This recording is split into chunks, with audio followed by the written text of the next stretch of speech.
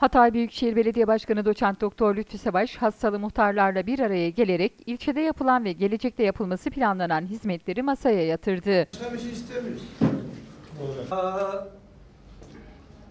Hatay Büyükşehir Belediye Başkanı Doçent Doktor Lütfü Savaş, Hatay Büyükşehir Belediyesi Meslek Edindirme Kursları Hatmek'te hizmette çözüm ortaklığı kurduğu, halka en yakın kişiler olan muhtarlarla gerçekleştirilecek çalışmalar ile ilgili istişarelerde bulundu.